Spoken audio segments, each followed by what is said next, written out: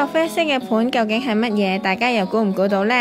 佢就係用 3D 打印出嚟嘅人工珊瑚礁盤，俾碎落嘅珊瑚依附生長，係由港大太古海洋科學研究所同建築學院合作做緊嘅復育珊瑚計劃。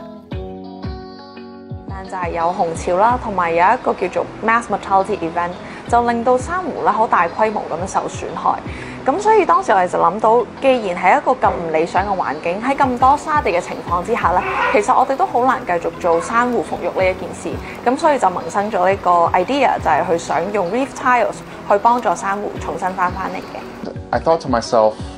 what if we could create a new hard bottom on the seafloor, much like you would tile your bathroom or kitchen uh, with nice tiles? What if we could tile the seabed and then use that hard structure as a place to attach corals? And that's how the idea was born.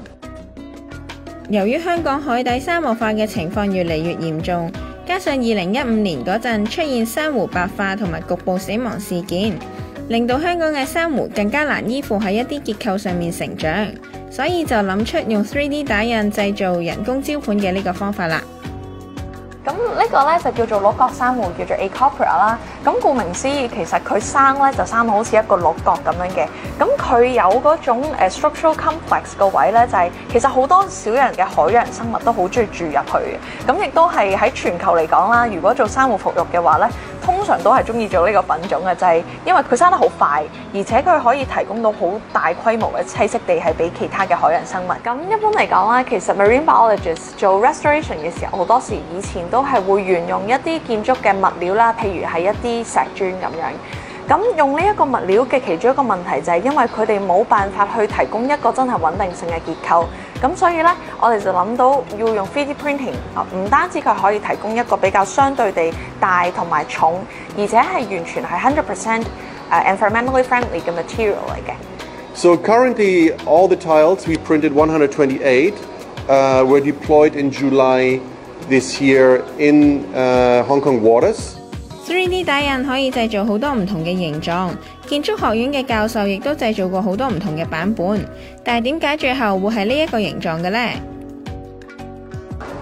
There's a lot of logic implemented to the shape. So first of all, the overall shape is a hexagon, just because we wanted to make sure that when divers are going to take it underwater, it's going to be really easy to assemble. So we didn't want to create a very complicated modular system.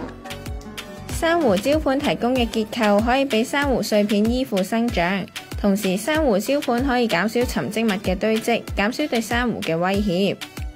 依家打印出嚟嘅礁盤都係放咗喺海下灣海岸公園嘅海底，大約佔地四十平方米。礁石嘅成分物料呢，就比傳統嘅混凝土同埋金屬材料呢更加環保，酸鹼度呢亦都會更加適合生物成長。誒呢部機咧係愛嚟撈嗰啲泥嘅，咁啊撈完之後咧就會裝落呢支桶上面啦，然後我哋就會將呢支桶